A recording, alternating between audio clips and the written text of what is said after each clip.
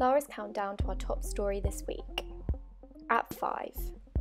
Air France KLM is increasing capacity for the 2018 summer season by 4.1% compared to last summer, driven largely by an increase in capacity of 10.6% on its Transavia brand's low fare operations. Transavia will develop its network from all its bases in France and the Netherlands with 24 new services. The airline will increase capacity from the Netherlands by 50% to Greece and its islands, as well as to Eastern Europe. Number 4.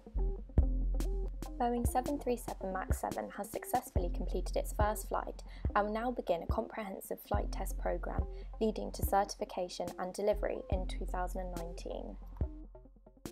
In At 3, Four MRJ flight test aircraft in the US are due to finish being further upgraded ahead of their next phase of testing towards eventual certification, according to Mitsubishi Aircraft. The upgrade work is mainly associated to improvements in the aircraft wiring harnesses. At 2. Ultra low fare startup Canada Jetlines has reported that it will not attain its June 2018 startup date as previously projected, due to factors impacting availability of aircraft to lease.